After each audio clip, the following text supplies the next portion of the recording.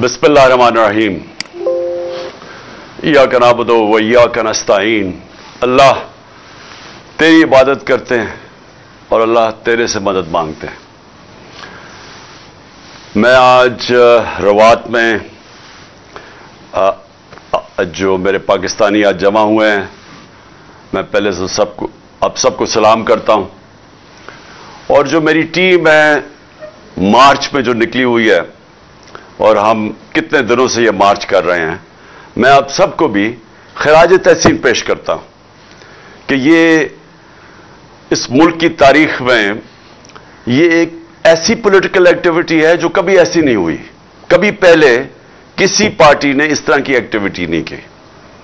और ये हमारी जो हकीकी आज़ादी की तहरीक है, ये शुरू हुई थी सात महीने पहले। जब हमारी हुकूमत को एक साजिश के तहत बैरूनी साजिश जिसके साथ मिल गए हमारे मीर जाफ़र और मीर सादक, क्योंकि कभी भी बैरूनी साजिश कामयाब नहीं होती जब तक के अंदर से गद्दार मदद नहीं करते बैरूनी साजिश को कामयाब करने की। तो उन्होंने हमारी गवर्नमेंट कराई और तब से तब से मैं मैदान में हूँ। तब से तहरीक इंसाफ सारे पाकिस्तान के अंदर अपना मौकफ अवाम की तरफ़ लेके जा रही है और अवाम को जगा रही है, शौर दे रही है। और मैं जितना भी अल्लाह का शुक्र अदा करूँ, वो कम है। जो मैंने इन सात महीने में देखा, मैंने अपनी 26 साल की सियासत में ये नहीं देखा। और जो मैंने अपने लोगों को बदलते देखा, जो मैंने अपने नौजवानों को खास तौर पे, और नौजवानों यानी नौजवानों वो जो कि बच्चे भी थे 12 साल 10 साल के बच्चे मैंने इन सबको इसमें शिरकत करते देखा। मैं जब निकला लाहौर से तो सारा रास्ता मैंने खातन को देखा पर्दादार खातन को। ज, ज, आ, मार्च के साथ साथ चल रही हैं बच्चे लेके अपने। छतों के ऊपर मैंने रास्ते में देखा छतों के ऊपर खातन खड़ी हैं। दुआएँ कर रही हैं। तो कभी ऐसे मैंने सीन अपनी ज़िंदगी में पाकिस्तान में नहीं देखे। तो मैं इसलिए अल्लाह का शुक्र अदा करना चाहता हूँ कि सिर्फ़ एक जागी हुई कौम, एक बाशूर कौम अपनी आज़ादी के लिए जदोजहद करती है। गुलाम कभी भी आज़ाद होने की कोशिश नहीं करते। गुलाम गुलाम ही रहते हैं। और लेकिन जब एक इंसान को समझ आ जाती है कि आज़ादी क्या है? तो तब फिर वो खड़ा होता है अपनी आज़ादी के लिए। तो हमारी ये जो तहरीक शुरू हुई सात महीने पहले, सारे पाकिस्तान में हमने जलसे किए और फिर लोगों ने कुर्बानियाँ दी इसमें। पच्चीस पे ये मैं कभी भूलूँगा नहीं, पच्चीस पे में जो हमारे साथ जुल्म किया गया। यही जो फैशिस्ट जो जराइम पेशा लोग जो हमारे ऊपर मुसलत किए जब हमें हटा के तो जो लोगों का हमारे ऊपर मुसलत किया गया, ये पाकिस्तान को 30 साल से मुख्तलिफ़ किस्म के तौर तरीकों से ये जुर्म कर रहे थे। मनी लॉन्ड्रिंग मुल्क का पैसा लूट के बाहर ले जाना, लोगों को मरवाना मॉडल टाउन के अंदर दिन दिहाड़े पुरमन एहतजाज करने वालों को कत्ल करना, गोलियाँ मारना पुलिस के ज़रिए, पुलिस मुकाबले में लोगों को मारना। ये शबाज शरीफ के ऊपर एमनेस्टी इंटरनेशनल या ह्यूमन राइट्स वॉच में सतानवे से निन्यानवे तक इसके ऊपर रिपोर्ट है किसने कई सौ लोग पुलिस मुकाबले में मरवाए वो जो आबिद बॉक्सर है, उसने टीवी के ऊपर आके बताया, वो जो पुलिस वाला था, कहता, मेरे ज़रिए से लोगों को मरवाया राना सनाउल्ला के ऊपर अठारह कत्ल। आबिद शेर अली का बाप कहता, इसने कत्ल किए सारा फैसलाबाद जानता है इसको। कब्जा ग्रुप, हर जुर्म में ये शरीक है। इन्होंने मिलके 25 मई को हमारे ऊपर जो किया, घरों में गए, कारकुनों के घरों में गए, उनकी औरतों को, उनकी औरतों के सामने, यानी आदमियों को पकड़ पकड़ के लेके गए, बच्चों को लेके गए, थानों में रात को लेके गए। कोई हर इस मुल्क के जो हकूक, इंसानी हकूक की खिलाफ वर्जी करते हुए वारंट के बगैर घुसे लोगों के घरों में। और इन्होंने फिर जो औरतें बच्चे यानी हमारी हमारी जो तहरीक इंसाफ के जलसे हैं कभी पाकिस्तान में ऐसे जलसे नहीं हुए। हमारी जो आ, प्रोटेस्ट है जो एहतजाज है उनके पर फैमिलीज़ आती हैं औरतें बच्चे आते हैं। ऊपर से लेकर नीचे तक इंग्लिश मीडियम से उर्दू मीडियम से दीनी मदरस सारे लोग शिरकत करते हैं। और उनके ऊपर इन्होंने शेलिंग की, जुल्म किया। दो लोग शहीद हुए, कई जख्मी हुए, जेलों में लोगों को डाला। एफआईआर की बारिश हो गई। तेईस एफआईआर मेरे ऊपर काटी, सारी सीनियर लीडरशिप के ऊपर। जब मेरे दौर में तीन लॉन्ग मार्चेस की गई गई। दो फजल रहमान ने और एक, बिलावल ने। हमने तो कोई नहीं रोका। हमने कोई एफआईआर नहीं काटी। हमने तो इनके सामने कंटेनर भी नहीं रखे। तो हमारे दौर के अंदर पूरी तरह जो आइन और कानून इनको इजाज़त देता था, हमने वो किसी जगह इनको रोका नहीं। हमारे तो 25 मई को इन्होंने किया। उसके बाद एक खौफ की फजा बन गई। एक डर्टी हैरी आ गया इस्लामाबाद में। उसने और ज़्यादा जुल्म शुरू किया। तशद किया लोगों पे केसेस बनाए। सोशल मीडिया के लोगों को उठा उठा के जेलों में डाला। और जेलों में भी नहीं डाला, पकड़ उठाते थे, उनको मारते थे, और फिर अगले दिन वापस घर, दे देते थे। धमकियाँ देके जो खौफ की फिजा बनाई गई, जनरल मुशर्रफ के मार्शल लॉ में मैं जेल में गया। वहाँ मैंने ऐसा नहीं जुल्म देखा उसके दौर में। जो इन्होंने जिस तरह हमारे ऊपर जो स्टेट को पूरी तरह उसका जो जुल्म हम, हमारे ऊपर किया, हमें ऐसे लगा हम पाकिस्तानी नहीं है। मैं जो, जिसको ये कौम पचास साल से जानती है, वो पाकिस्तानी पचास साल से जानती है कौम। हर किस्म का पाकिस्तान का सिविल अवार्ड मुझे मिला हुआ है।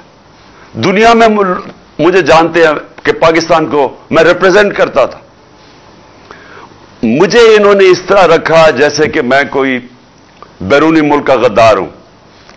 जो मेरे नौकरों को इन्होंने एजेंसीज ने आके पैसे दे के उनको उनको अपनी तनख्वाह पे रखा। मेरे ऊपर कोई डिवाइस रखने के लिए, आगे भी इनके प्लान बने हुए थे नुकसान पहुँचाने के लिए मुझे।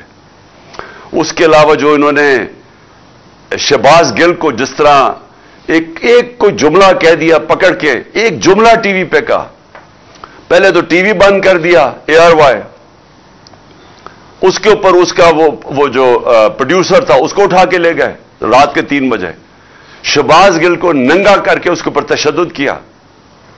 एक यूनिवर्सिटी प्रोफेसर कोई आम आदमी नहीं यहाँ चले कोई कोई दहशत गर्द होता, चले मैं मान मिलू कोई बैरून गद्दार होता, कोई मुजरिम होता एक यूनिवर्सिटी प्रोफेसर को इन्होंने नंगा करके मारा। सिर्फ़ खौफ फैलाने के लिए। ये जो डर्टी हैरी आया, इसने सोचा कि ये जिस तरह ये पहले करता आया, बलूचिस्तान में दहशतगर्दों के खिलाफ, हमारे ऊपर वो शुरू कर दिया। फिर आज़म स्वाति से क्या किया? पचहत्तर साल सेनेटर ये हमारे, ये मैं आप बता रहा हूँ कि ये हमारी मुल्क की तारीख में कभी ऐसी चीज़ें नहीं हुई। उसको ट्वीट के ऊपर मारा पहले घर में उसके पोता पोतियों के सामने, फिर जाके नंगा करके उसको एजेंसी के हवाले किया, जिधर उसको, उसके ऊपर तशद किया गया। और उसके बाद डराने के लिए कि उसका मुँह बंद हो जाए, उसके मियाँ बीवी की एक कसेट उसकी बीवी को भेजी। कभी मुल्क ऐसे नहीं गिरा। और सिर्फ़ बताने के लिए, कोशिश करने के लिए, हमें बताने के लिए कि जो तुम्हारे से बोलेगा, हम तुम्हें, हम तुम्हारे ये मिसाल बनाएँगे। और पैगाम भेजे गए। आज़म स्वाति के ऊपर जब तशद हो रहा था तो उसे कहा कि ये इमरान खान से हम ये करेंगे, कि जिस तरह इमरान खान डर जाएगा और चुप करके बैठ जाएगा। और फिर मेरे ऊपर जो जो कातलाना हमला किया गया, जो मुझे पहले से ही पता था कि तैयारी हो रही है, कि दीनी इंतहा पसंद ने जी इमरान खान को मार दिया। पहले किस एजेंसी ने वो वीडियो बनाई इसलिए जब भी इन्वेस्टिगेशन होगी, पता चलेगा कि किस, कौन सी एजेंसी ने ये वीडियो बनाई? किसके कहने पे बनाई? कौन सा वो ऑफिसर था? उसके कहने पे पहले वो बनाई गई, उसके बाद वो एक इनका पालतू कोई वकार सेठी या कुछ है, उसने वो इनसे लिंक है। और मुझे पता था क्योंकि जब मैं वज़ीर आज़म था, मुझे पता था एजेंसीज के साथ कौन लिंक्ड है। उसने फिर जाके उसको उठाया, फिर ये दोनों मरियम दोनों ने उसको प्रेस कॉन्फ्रेंस की, फिर पीटीवी पे चार दिन प्रोग्राम हुआ उसके ऊपर। सिर्फ़ बताने के लिए कि इमरान खान ने दीन की तोहिन की है। और तैयारी ये कर रहे थे कि अब इसकी आड़ में एक दीनी इंतहा पसंद इसे मार देगा। मैंने ये 24 सितंबर को भी पब्लिक को बताया और फिर 6 अक्टूबर 7 अक्टूबर को जलसों में बताया कि ये इनका प्लान बन रहा है।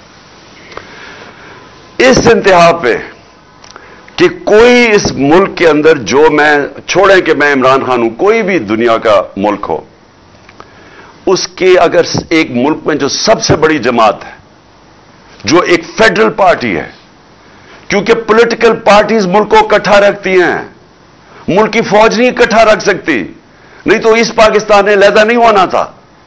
पॉलिटिकल पार्टीज़ मुल्क को इकट्ठा रखती हैं। और जो पार्टी सारे मुल्क में वाहिद पॉलिटिकल फेडरल पार्टी है उसको खत्म करने की कोशिश की गई। हर कोशिश की गई उसे खत्म करने की। और ये कौन कर रहा था? क्या इसका मकसद था? इसके ऊपर मैं एंड में आऊँगा। लेकिन ये सारी चीज़ें हमने बर्दाश्त की। उसके बावजूद हमने ये मार्च की। और हमने मार्च इसलिए की, पॉलिटिक्स के लिए नहीं की। ये सियासत के लिए नहीं हो रहा। मुझे छह महीने में हर जगह पे, कई जगह के ऊपर मुझे लेटर आता था कि आप अगर इस जलसे में जाएँगे तो आपकी जान खतरे में है। कई जगह चीफ सेक्रेटरी लेटर भेजता था कि जी आपकी जान मुल्तान का जलसा ना करें, आपकी जान खतरे में कई जगह है। इसका मुझे खुद पता था कि ये प्लान बना रहे हैं मुझे मारने का। उसके बावजूद मैं निकला। और आज इंशाला मैं अभी आपको डेट दूँगा एंड में कि मैं आ रहा हूँ पिंडी। मुझे पता है कि अभी मेरी जान खतरे में है, सबको पता है। क्योंकि ये लोग जो जिन्होंने अभी कोशिश की ये अभी भी वहीं बैठे हैं। तो मुझे पता है जान खतरे में है। लेकिन मैं क्यों उसके बावजूद निकलूँगा? सियासत के लिए नहीं। मुझे सियासत क्या दे सकती है जिसको अल्लाह सब कुछ दे चुका है? मैं एक हकीकी आज़ादी की जंग लड़ रहा हूँ। मैं समझता हूँ कि मौत गुलामी से ज़्यादा बेहतर है। एक गुलाम की ज़िंदगी से बेहतर मर जाना है। और खास तौर पे इन चोरों की गुलामी, ये जो तीस साल से चोरों का टोला मुल्क को लूट रहा था, अब इकट्ठा बैठ गया है, जो पहले एक दूसरे के खिलाफ लड़ता था, इनकी गुलामी से, या इनके बच्चों की गुलामी जो ये तैयार कर रहे हैं अपने बच्चे उससे बेहतर है मर जाओ। मैं इसलिए निकल रहा हूँ, और मैं अपनी सारी कौम को भी कह रहा हूँ कि देखें, आपने फैसला करना है कि क्या हमने इसी तरह चलना है? क्या इन चोरों के बाद जो अपने बच्चे तैयार कर रहे हैं और बच्चों ने ज़िंदगी में एक घंटा काम नहीं किया, वो उनका सिर्फ़ काम, उनको सिर्फ़ एक चीज़ आती है मनी लॉन्ड्रिंग वो छोटे छोटी उम्रों में वो अरबोपति बन गए थे, क्योंकि माँ बाप ने उनके नाम पे या चोरी करके पैसा, इनके नाम पे चीज़ें ली हुई हैं।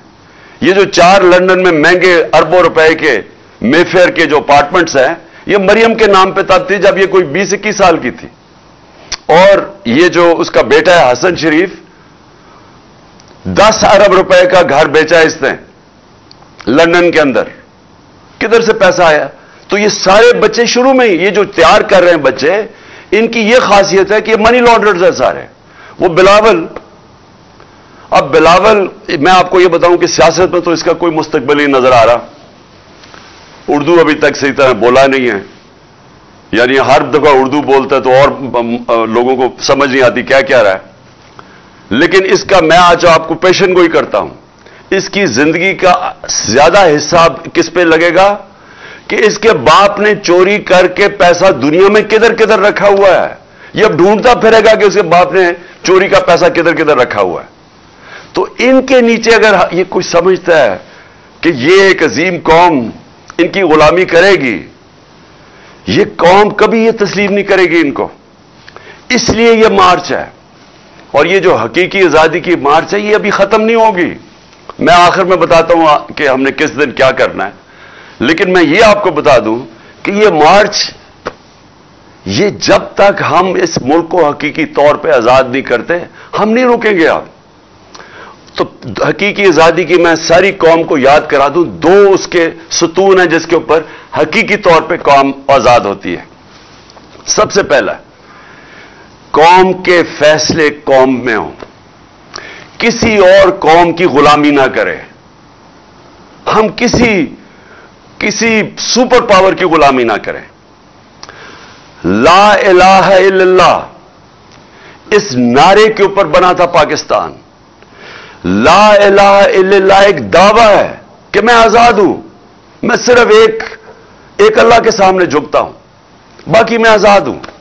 एक खुददारी का यह दावा है। एक कौमी गैरत का दावा है। यह ये नहीं होता कि वहाँ जाके दुनिया के बाद चक्कर मारो और हाथ फैला के कहो कि मैं मांगने तो नहीं आया, मैं मजबूर हूँ। इसलिए तो ये नहीं मुल्क बना था।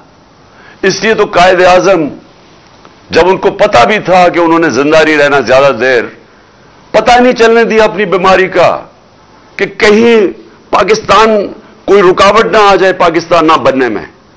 ये वो कुर्बानी थी। हम बड़े हो रहे थे जमान पाक में तो वहाँ इतने लाखों लोग हिंदुस्तान से जो आए थे, कोई शायद ही कोई था जिनके घर में कत्लेआम ना हुई हो। तो ये तो कुर्बानियों के नाम पे बना था। इसलिए नहीं बना था कि हम अंग्रेज़ से आज़ाद होके तो अब हम किसी और सुपर पावर की गुलामी करें। लिहाजा, एक हम मुल्क चाहते हैं जो सॉवरन हो। कौम के फैसले कौम में हो। और मुझे अफसोस से मिसाल देनी पड़ती है हिंदुस्तान की, साथ ही हमारे वो आज़ाद हुआ था। सिर्फ़ उस मुल्क के फैसले देख लो फॉरेन पॉलिसी देख लो। आज़ाद फॉरेन पॉलिसी मुल्क खड़ा हो गया हिंदुस्तान कि नहीं जी, हम रूस से तेल लेंगे, हम तुम्हारे हमारे, तुम्हारे साथ अलायंस है अमेरिका के साथ क्वाड के अंदर। लेकिन हम फैसले करेंगे तेल रूस से इसलिए लेंगे कि हमारे लोगों को सस्ते तेल की ज़रूरत है। हम अपने लोगों के ऊपर महँगाई का बोझ नहीं डाल सकते। खड़े हो गए, अमेरिका नाराज़ हुआ, लेकिन आखिर अमेरिका को मानना पड़ा। हमने भी वही किया था। लेकिन ये जो गुलाम ऊपर बैठाए गए हैं, जो साजिश के तहत आए हैं, सात महीने हो गए इनको शर्म नहीं आई कि मुल्क महँगाई में, यानी लोग डूब गए हैं। लेकिन इन्होंने रूस से तेल नहीं लिया क्योंकि जो इनके, इनका जो आका है वो नाराज़ ना हो जाए। हम चाहते हैं कि पाकिस्तान अगर कभी भी, हम कोई भी जो फैसले करें, उसकी नंबर वन चीज़ होनी चाहिए कि क्या मेरी कौम का इसमें फ़ायदा है या नहीं है। हमारी कौम का फ़ायदा नहीं था। जब हमने अमेरिका की जंग में शिरकत की और अस्सी हज़ार अपने लोग मरवा लिए। यह हमारी कौम के मुफाद में नहीं था। लेकिन ऊपर जो सरबरा बैठा था, वो प्रेशर ही नहीं ले सका, घुटने टेक दिए। और ये जो जो जरदारी और नवाज़ शरीफ आए, ये और ज़्यादा उनके सामने लेट गए। 400 ड्रोन अटैक हुए इनके दौर में। 400 ड्रोन अटैक। कभी दुनिया की तारीख में मुझे एक मिसाल बता दें। कि आप जंग किसी की लड़ रहे और वो आपके ऊपर बमबारी कर रहा हो। एक दुनिया में मिसाल नहीं है। क्योंकि ये कोई मुल्क की आज़ादी के लिए इनका कोई इंटरेस्ट नहीं है। ये दो खानदान का इंटरेस्ट ये है कि पैसे कैसे बनाने हैं, मुल्क से बाहर कैसे लेके जाने हैं। और फिर उस पैसे को बचाना एनआरओ के ज़रिए क्या है? और फिर अपने बच्चों को तैयार करना है कि वो फिर आगे चलते जाए। इससे आगे इनका इंटरेस्ट नहीं है। पाकिस्तान नीचे जाता है पाकिस्तान का दिवालिया निकलता है, इनको क्या फ़र्क पड़ता है? इनके पैसे डॉलर्स में बाहर पड़े हैं। अगर रुपया गिरेगा भी तो इनका तो डॉलर की कीमत ऊपर चली जाएगी। तो इनका मफाद तो ये नहीं है कि पाकिस्तान एक आज़ाद, खुददार कौम बने। इनका तो यह है कि ये इकतदार में कैसे रहे और पैसा कैसे बने और बचाए कैसे। सो सबसे पहले हम ये कभी इस मुल्क को जितनी भी कुर्बानियाँ देनी पड़े हैं देखिए, कौमें कुर्बानियाँ दे के आज़ाद होती है। मैं बार बार आपको कहता हूँ, कौम जब इकट्ठी हो जाती है, फैसला कर लेती है कि हम खुददार कौम होंगे अब अपने पैर पे खड़े होंगे। वो कौम खड़ी हो जाती है अपनी पैर पे। लेकिन जब एक कौम की साहिब इकतदार, वो चोरी करके पैसा बाहर लेके जा रहे हैं और दूसरों को कह रहे हैं कि आप पाकिस्तान पैसा भेजें, अपना पैसा बाहर लेके जा रहे हैं। और फिर जब आप मकरूज हो जाते हैं क्योंकि डॉलर जब आप बाहर भेजते रहते हैं और आप पॉलिसी सही बनाते नहीं हैं, एक्सपोर्ट्स बढ़ाते नहीं हैं तो आखिर में जब डॉलर मकरूज हो जाते हैं, फिर आप घुटनों पे आ जाते हैं और फिर अपनी आज़ादी खो बैठते हैं। दूसरी चीज़, और यह भी मैं आप सबको कहता रहा हूँ, मैंने नाम भी अपनी पार्टी का इंसाफ रखा था, कि जो इंसाफ है, इसका मतलब है, इसका इंसाफ का मतलब क्या मैं फिर ये आपको समझा दूँ। कानून के सामने सब एक बराबर। इंसाफ इंसानों को आज़ाद करता है। क्योंकि अगर अगर इंसाफ नहीं होता माशरे में तो जो कमज़ोर होता है, वो ताकतवर का गुलाम होता है। जो जंगल का कानून है, जंगल के कानून के अंदर इंसाफ नहीं होता। ताकत की हुक्मरानी होती है। जो ताकतवर है, वो कमज़ोर के ऊपर हर किस्म का जुल्म करता है।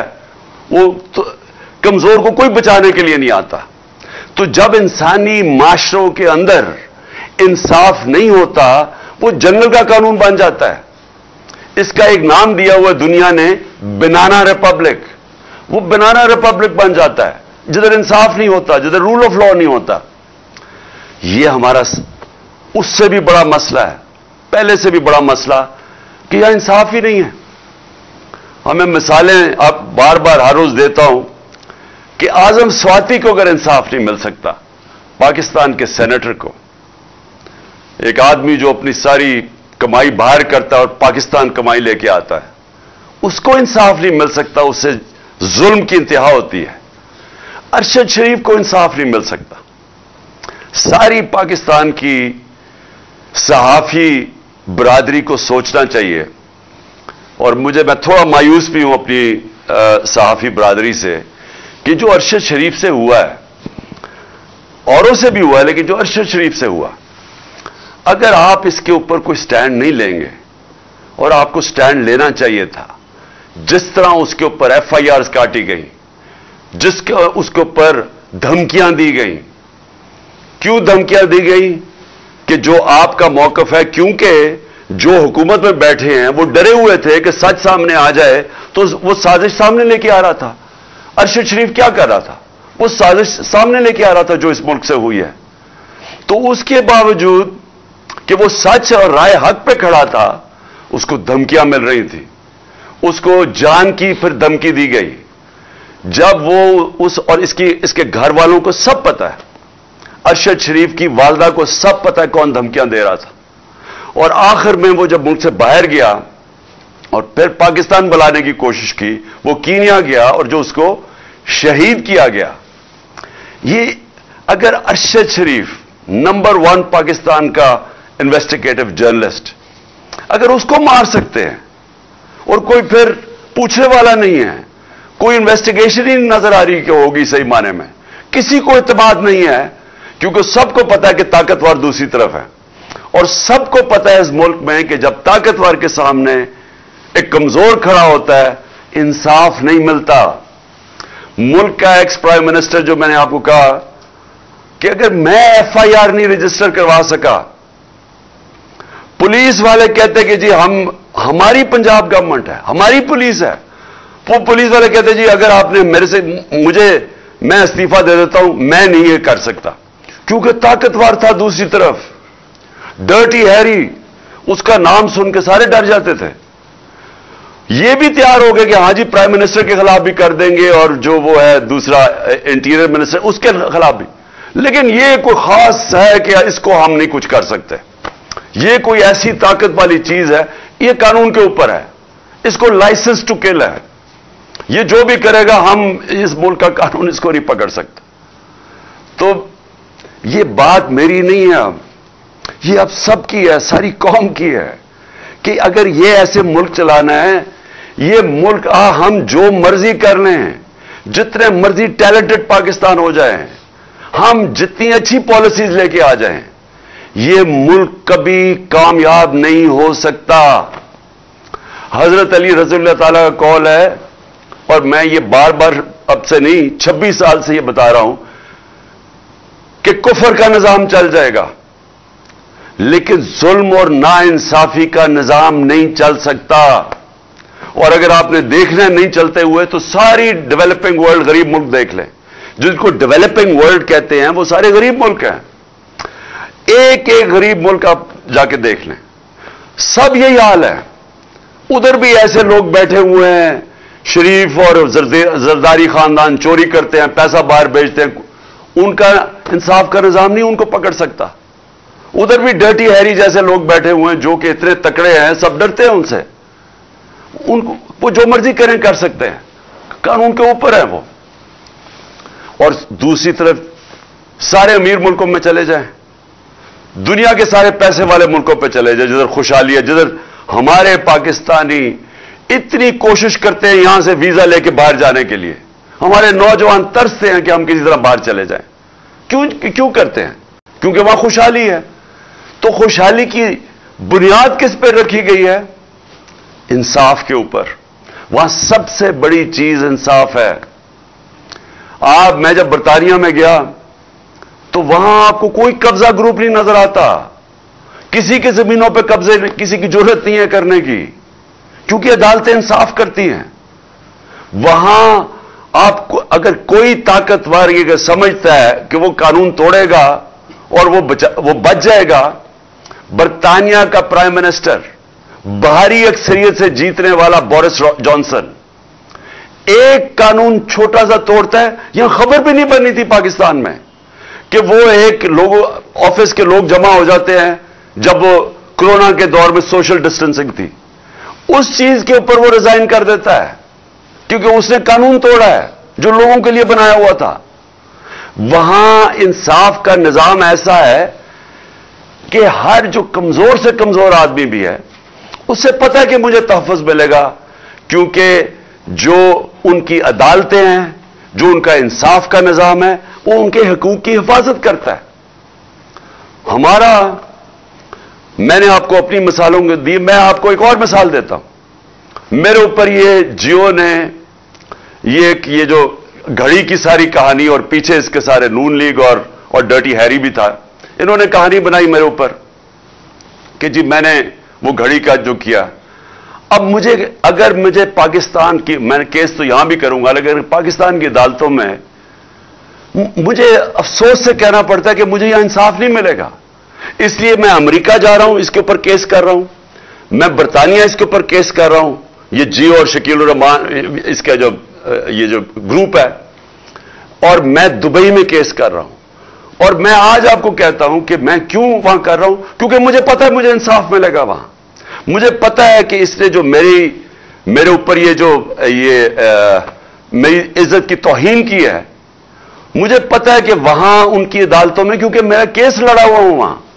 बहुत बड़ा केस हुआ था मेरा और इयन बोथम का बरतानिया की अदालत में। वो मेन हेडलाइंस केस था। तीन हफ़्ते वो केस चला था। मुझे पता है वहाँ अदालतें कैसे चलती और वो भी वो भी यही था हरजाना का केस था। तो मुझे तो पता है वो कैसे चलता है। और मुझे पता है कि जो अब इन्होंने जो किया है, इसके ऊपर जो हरजाना होगा, इसके ऊपर जो डैमेजेस होंगे, मैं इसलिए चाहता हूँ कि पाकिस्तानी कौम देखेगी क्या होगा। और मैं इसलिए चाहता हूँ कि हमारे, हमें भी यहाँ देखना चाहिए, हमारी अदालतों को भी, कि हम क्यों ये नहीं कर सकते, क्यों नहीं लोगों की इज़्ज़त की हिफाजत कर सकते। क्यों एक, एक मुल्क के एक्स प्राइम मिनिस्टर के ऊपर इस तरह गंद उछाला जाए? किसी के ऊपर भी किसी इंसान पे भी। लेकिन यहाँ तो यहाँ तो कोई भी पूछने वाला नहीं है। और यह है इसको मैं कहता हूँ क्यों वो खुशहाल है मुल्क? क्योंकि आप और तो छोड़े ना दुनिया में सरमायाकार जो आपके पाकिस्तान के जो पाकिस्तान की बिज़नेस आज मगरब में हैं जो यूरोप में हैं जो अमेरिका में हैं जो दुबई में हैं आप उनसे पूछे ना पाकिस्तान आगे क्यों नहीं सरमायाकारी करते? हमारा एक करोड़ है, पाकिस्तानी बाहर बैठा हुआ। अगर पाँच लाख पाकिस्तानी बाहर बैठे हुए फैसला कर लें कि हमने पाकिस्तान में आके सरमायाकारी करनी है। आप ये यकीन दें से यकीन से मैं आपको कहता हूँ कि यहाँ इतना डॉलर आ सकता है पाकिस्तान में कि हमें किसी के सामने हाथ फैलाने की ज़रूरत नहीं है। हमारे अपने ओवरसीज पाकिस्तानी अगर यहाँ पाकिस्तान में सरमायाकारी करनी शुरू कर दें हमें कोई मसला ना हो कि हम भागे फिर रहे हैं, कभी यहाँ पैसे मांग रहे हैं, या हमारे रुपया गिर रहा है। लेकिन वो आते क्यों नहीं है? उनसे पूछें कि क्यों नहीं वो पाकिस्तान में आके सरमायाकारी करते। सबसे बड़ा मसला यह होगा, एक अंग्रेज़ी का लफ्ज है कॉन्ट्रैक्ट एनफोर्समेंट उनको यह खौफ होता है कि अगर उनसे कोई यहाँ कोई फ्रॉड होगा तो यहाँ उनको कोई तहफ़ नहीं मिलेगा। यहाँ अगर वो प्लॉट भी खरीदते हैं तो उनके ऊपर भी कब्जे हो जाते हैं। मैं जब बाहर जाता था, पैसे इकट्ठे करने के लिए, बैरून मुल्क पाकिस्तानियों से, शौकत खानम के लिए, नमल के लिए, तहरीक इंसाफ के लिए तो मेरा जब उनसे मैं मिलता था और अब से नहीं, तीस सालों से बात कर रहा हूँ, हमेशा वो ये कहते थे कि हमारे प्लॉटों के ऊपर कब्जे हो जाते हैं और वो केस फंस जाता है जाके अदालत में। और फिर वो आखिर में हमें वो कब्जा ग्रुप आगे कहता है अच्छा जी, जो प्लॉट की कीमत थी, हज़ार रुपए वो कहते जी सौ रुपया लो और जान छोड़ो। ये इतने पाकिस्तानियों से हुआ है। तो जब प्लॉट ही नहीं वो खरीद सकते इस मुल्क में और उनको खौफ है कि उसके ऊपर भी कब्जा हो जाएगा तो सरमाकारी कौन करेगा? तो हमारे मुल्क का जो मुस्तकबिल है, वो वो जिधर ये ले आए हैं पाकिस्तान को, जो हमें खड़ा कर दिया, दिवालिया निकाल दिया हमारा इन सात महीने में। अब जो आगे आगे हमने मुल्क को जब उठाना होगा तो उसके लिए हमें अपने मुल्क में कानून की बालादस्ती कायम करनी होगी। ये जो बड़े बड़े डाकू जो हर बारी चोरी करके और एनआरओ एनआरओ ले लेते हैं, ये किसी महजब माशरे में इसका तस्वर नहीं है कि इन्होंने कानून पास किया असेंबली से। और सारे जिन जिन के ऊपर केसेस थे नैब में, वो बकायदा शिक्के हैं जिसमें बड़े बड़े डाकू बच रहे हैं उसमें। जरदारी किसी में बच रहा है, मरियम किसी में बच गई है। जो और इनके लोग फंसे हुए थे, सब बच रहे हैं। 1100 अरब रुपया जो इस कौम को आना था, वो सारा इन्होंने हजम कर लिया है। कानून बदल के अपने आप को फ़ायदा, अपने आप को एनआरओ देके। तो जब ताकतवर चोरी करके भी नहीं पकड़ा जाए, कमज़ोर को तहफुज ना मिले, वो कौम आज़ाद नहीं होती। वो अपनी आज़ादी खो बैठती है। जिस तरह हज़रत अली का कौल है कि वो निज़ाम नहीं चल सकता। और ये हमारा नहीं है, ये सारे गरीब मुल्कों का ये कहानी है। तो इसलिए ये दूसरी चीज़ है, ये हमारी जद्दोजहद चलेगी ताकतवर को कानून के नीचे लाने के लिए। और ये चलती रहेगी, ये मार्च से आगे चलती जाएगी। ये तो तहरीक चलती जाएगी जब इंशाला जब तक हकीकी तौर पे अपने मुल्क को आज़ाद ना करें। अब मैं अब मैं दो तीन और आखिर में बातें करता हूँ डेट, क्योंकि मैंने आपको अभी डेट देनी है कि हमने किस दिन इंशाला इस्लामाबाद सबने पहुँचना पिंडी पहुँचना किस दिन, वो मैं आपको भी डेट देने लगा हूँ। लेकिन मैं आज सात महीने हो गए हैं, हमारी गवर्नमेंट को हटाए। तो मैं आज अपनी जो ताकतवर, हमारी जो स्टैब्लिशमेंट है, जिनके पास ताकत है, जो इस मुल्क को, जो इस मुल्क को किसी तरफ़ भी ले जा सकते हैं पॉजिटिव भी ले जा सकते हैं नेगेटिव भी ले जा सकते हैं। तो मैं उनसे आज एक सवाल पूछता हूँ। मेरा यह सवाल है, और क्योंकि मुझे इसका कोई जवाब आया नहीं अभी तक, कि ये लोग जो दो खानदान थे, जनरल मुशर्रफ ने इनको हटाया जब निन्यानवे में तो दो दो दफ़ा ये करप्शन में नब्बे की दिहाई में निकल चुके थे। और केसेस करप्शन के इन्होंने एक दूसरे के ऊपर बनाए थे। नून लीग कहती थी पीपल्स पार्टी करप्ट है पीपल्स नवाज़ शरीफ करप्ट है, वो कहती थी जरदारी करप्ट है। जरदारी को जेल में नवाज़ शरीफ ने डाला। और फिर इन दोनों को मुशरफ ने हटा दिया और लोगों ने मिठाइयाँ बांटी और करप्शन पे हटाया। उसके बाद इन्हीं को जनरल मुशरफ ने एनआरओ दे दिया। और उसके बाद इन्होंने 10 साल जो मुल्क से किया है, चार गुना ज़्यादा कर्जा बढ़ा दिया। लोगों ने इनके गुस्से में मुझे वोट दी 2018 में। अब मेरा सवाल यह है कि वो क्या चीज़ थी कि एकदम सवा तीन साल के अंदर यही लोग कि पता नहीं किसमें नहा के आए कि ये एकदम ठीक हो गया एस्टेब्लिशमेंट के लिए। और उसके बाद ये हमारे ऊपर फिर मुसलत हो गए। चले मानते हैं कि एस्टेब्लिशमेंट ने कोई इसके ऊपर साजिश नहीं की। लेकिन रोक तो सकते थी ना। जानते तो थे इनसे इनका माजी। क्या इनका माजी नहीं पता था? फाइलें तो सारी पड़ी हुई एजेंसीज के पास इनकी चोरी की। सब कुछ तो क्योंकि मैं साढ़े तीन साल प्राइम मिनिस्टर था। मुझे पता है कि सारी डिटेल्स आए, हमारी एजेंसीज के पास पड़ी होती है, कि इनकी चोरी इन्होंने कितनी की। तो वो तो सब पता था। तो वो क्या चीज़ हुई कि इनको फिर हमारे ऊपर मुसलत कर दिया? बैरूनी साजिश कामयाब हो ही नहीं सकती जब तक अंदर उनकी मदद ना हो। तो मेरा सवाल यह है कि अब सात महीने के बाद कोई एक भी मुझे चीज़ बताएँ कि इन्होंने मुल्क के अंदर बेहतरी की हो। मुझे एक चीज़ बता दें। इकोनॉमिक सर्वे पाकिस्तान की इनके दौर में पब्लिश हुई। उसी इकोनॉमिक हमारे दौर में नहीं हुई। वो हर साल जो बताती है कि पाकिस्तान की माशत के क्या हालात है। वो इनके दौर में पब्लिश होती है और वो कहती है कि सत्रह साल के बाद पाकिस्तान हमारी हम तहरीक इंसाफ के जो आखिरी दो साल थे सत्रह साल के बाद बेहतरीन हमारी माशी माशत की आ, आ, इजाफा हुआ उसमें। पाँच इशारिया सात फ़ीसद और छह फ़ीसद। यह सत्रह साल के बाद, कोरोना के बावजूद यह हमारी माशत ऊपर आ रही थी। उसी इकोनॉमिक सर्वे में लिखा होता है कि 50 साल के बाद हमारी जो इंडस्ट्रियल ग्रोथ है, जिसमें असल में नौकरियाँ होती हैं, नौकरियाँ मिलती हैं, जिसमें दौलत में इजाफा होता है, वो होती है जब इंडस्ट्री आपकी बढ़ती है। तो 27 26 से 27 फ़ीसद हमारी लार्ज स्केल मैन्युफैक्चरिंग बढ़ी फैसलाबाद के अंदर मजदूर नहीं मिल रहे थे टेक्सटाइल फैक्ट्रियों के। मुझे टेक्सटाइल वालों ने कहा कि जनाब, हमें बाहर से मंगवाने पड़ रहे हैं, या मजदूरों की शॉर्टेज हो गई है। तारीख में सबसे ज़्यादा टेक्सटाइल इंडस्ट्री की ग्रोथ हुई। तारीख में सबसे ज़्यादा एक्सपोर्ट्स बढ़ी। तारीख में सबसे ज़्यादा बाहर बैरून मुल्क पाकिस्तानियों ने। हमारे ऊपर एतमाद करते हुए सबसे ज़्यादा रेमिटेंसेस पैसा भेजा। तारीख में सबसे ज़्यादा पाकिस्तान की आमदनी टैक्स कलेक्शन बढ़ी। और तारीख में चार फ़सलें जो पाकिस्तान की थी, क्योंकि हमने किसानों की मदद की, क्योंकि हमने उनको सब्सिडाइज करके चीज़ें दी, उन्होंने अपनी साढ़े चार फ़ीसद हमारी ग्रोथ रेट थी, यानी हमारी इजाफा हुआ ज़रात में, जो सत्रह साल के बाद था। तो जब मुल्क आगे बढ़ रहा था और जब हर चीज़ पॉजिटिव हो गई, कोरोना के मुश्किल वक्त से हमने मुल्क को निकाल लिया, दुनिया ने माना कि ये पाकिस्तान की जो परफॉर्मेंस है कोरोना में, दुनिया ने world economic forum world health organisation जो इकोनॉमिस्ट उसने जो इकोनॉमिस्ट मैगजीन ने दुनिया की सर्वे की, उन्होंने कहा तीन मुल्कों में से पाकिस्तान लगातार दो साल टॉप पे आया है, दुनिया में।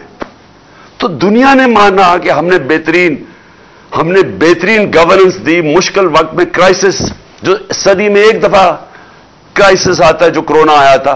दुनिया कहती है कि हमने सबसे बेहतरीन उसको मुल्क को निकाला। तो वो कौन सी क्यामत आ गई थी कि हमें उस वक्त गिरा के तो इन चोरों के ऊपर बैठा दिया?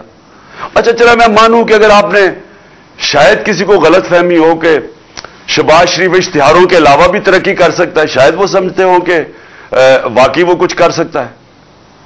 लेकिन ये जरा आप देख लें, शायद वो समझे कि इसहाक डार जो दो दफ़ा निन्यानवे में भी इकोनॉमी बैंक करके गया, फिर 2018 में पाकिस्तान की इकोनॉमी बैंक थी।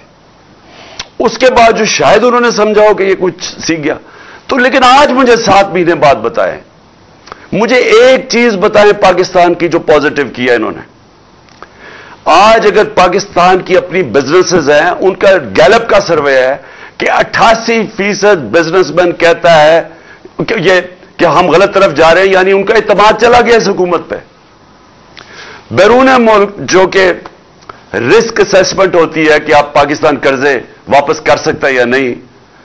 वो पचासी फ़ीसद आप कह रहे हैं कि पाकिस्तान कर्जे वापस नहीं कर सकता। तो ना बाहर के लोगों को इस पे इतमाद रह गया, ना अंदर किसी को इतमाद है इन पे। अपनी बिज़नेस को भी नहीं है। और तो गवर्नेंस का यह हाल है कि तिरपन फ़ीसद दहशतगर्दी बढ़ गई है सात महीनों में। तो इनके पास तो टाइम ही नहीं है इन चीज़ों का सोचने का। ये तो अपने केसेस ही माफ़ करवा रहे थे। ये तो हमारी हमारी पार्टी को सिर्फ़ दीवार से लगाने की, ताकि ताकि किसी तरह ये हमें मुझे डिस्कालीफाई के इलेक्शन जीत जाए। इनका तो और कोई काम ही नहीं। तो मैं सवाल ये पूछता हूँ कि इनके तो पैसे बाहर पड़े हैं। इनका तो स्टेक पाकिस्तान में नहीं है। ये जो नवाज़ शरीफ का तो सारा टब्बर बाहर चला गया। तो मैं ये पूछता हूँ कि अपनी स्टैब्लिशमेंट से कि आपने आज मुझे यह बता दें कि मुझे पाकिस्तान का क्या फ़ायदा हुआ है? सात महीने में यह रजीम चेंज से इस मुल्क को फ़ायदा क्या हुआ है? मुझे एक चीज़ मैं पूछना चाहता हूँ, क्या किसानों से पूछे? जय किसानों से पूछे कि क्या हालात है उनके आज? इंडस्ट्री से पूछे। आज नौजवानों से पूछे आईटी सेक्टर से पूछे जो 75 फ़ीसद एक्सपोर्ट्स हमारे दौरान बढ़ी थी आईटी की जो फ्यूचर है मुल्क का। मुझे किसी सेक्टर से बताएँ कि किसी को फ़ायदा हुआ है इनके आने से। आज वो लोग जो हमारे पर तनकीद करते थे वो आज दुआएँ कर कि आप किसी तरह वापस आए। सो so, मैं सिर्फ़ फिर यह सवाल पूछता हूँ कि कुछ तो जेनों में से गुजरी होगी कि जनाब हम इनको चोरों को वापस आने दें। कुछ तो सोचा होगा कि ये कोई फ़ायदा कराएँगे पाकिस्तान को। और मैं हैरत यह है कि 30 साल से इनका ट्रैक रिकॉर्ड हमारे सामने है। और हमारी अपनी स्टैब्लिशमेंट ने बार बार इनको करप्ट का है। अपनी स्टैब्लिशमेंट ने दो दो दफ़ा निकवाला है इनको नब्बे की दिहाई में, जब ये इनकी करप्शन की वजह से। तो वो तो मैं अभी भी, मुझे, मैं हैरान हूँ कि कोई भी शायद मुझे इसका पता चल जाए कि कोई वजह हो या उनको कोई नज़र आई हो चीज़ कि जो जो इनमें कोई सिफ्त हो, वो शायद मुझे ना नज़र आ रही हो। लेकिन मैं आखिर में आज अपने सारे पाकिस्तानियों से मुखातिब हूँ। देखें, ये जो वक्त है, इसके अंदर आप सारी कौम को मैं कह रहा हूँ, आप न्यूट्रल नहीं हो सकते। आप अगर आज न्यूट्रल हो गए, आपके बच्चे पछताएँगे। आपकी आने वाली नस्लें पछताएँगी कि आप, जब आपको अमर बिल मारूफ पर चलना चाहिए था, जब आपको नाइंसाफी के खिलाफ जहाद करनी चाहिए थी और आप घरों में बैठ गए। इमरान खान को मैं आपको फिर से कहता हूँ, मुझे कोई ज़रूरत नहीं है कि अपनी जान खतरे में डाल के बाहर निकलूं। जब मुझे पता था, उसके बावजूद और जब मुझे आगे भी पता है। लेकिन ये मैं बचपन से मेरे जहन में यह था कि मैं कभी गुलामी से बेहतर मर जाना है। ये गुलामी है, ये जो हो रहा है। मैं अपना एफआईआर नहीं रजिस्टर करवा सका एक्स प्राइम मिनिस्टर मुझे पता है किसने ये सारी साजिश की थी। मुझे वो तीनों का पता है, इन्होंने मिलकर की थी। लेकिन मैं नहीं कर सका। तो सोच लें कि आप में से कि आप आवाम में आपके पास क्या हकूक है आपके पास? आपसे अगर ताकतवर जुल्म करता है, आप क्या कर सकते इंसान और भेड़ बकरियों में फ़र्क है। इंसानों के हकूक होते हैं। भेड़ बकरियों को डंडे मार के जिधर मर्ज़ी आज कह दें कि ये चोर हैं तो कल कह दें कि ये पाक हो गए तो वो उधर ही चलेंगे। इंसानों के हकूक है। इंसान जब तक अपने हकूक और आज़ादी जब तक उसके लिए राय हक के लिए नहीं खड़ा होता, इंसानी माशरा जानवरी माशरा बन जाता है। जानवरों का माशरे में जंगल का कानून आ जाता है, जो इस वक्त मुझे अफसोस से कहना पड़ता है, पाकिस्तान में है। हमारी कोशिशें हो रही हैं, देखे, वो सेनेटर्स निकले हुए हैं वकील निकले हुए हैं, कि सारी दुनिया के सामने आज़म स्वाति से हुआ। लेकिन वो वो बेबस है।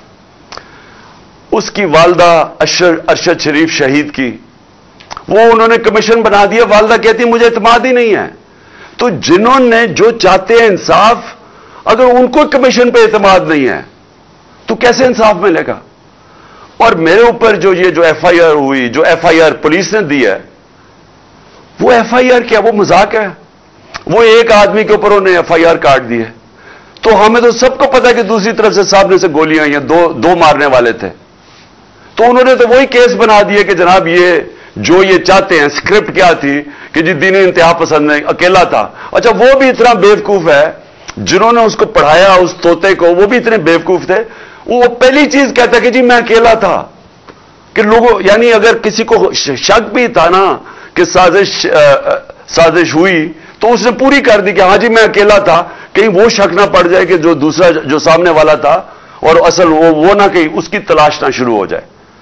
तो अगर हमें इंसाफ नहीं मिल सकता मैं फिर से कहता हूँ मेरी कौम आपको यहाँ इंसाफ नहीं मिलने लगा ये मुल्क आगे नहीं बढ़ने लगा। और ये जो मैं और मैं अब आपको डेट देने लगा हूँ मैं अपनी सारी आ, पहले तो पार्टी को भी सारों को कहूँ कि अभी से तैयारी शुरू कर दें।